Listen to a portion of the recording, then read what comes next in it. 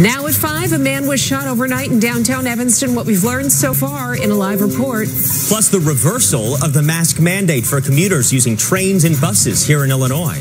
And prepaid gas cards for some Chicagoans. Mayor Lightfoot's latest plan faces a test today at City Hall.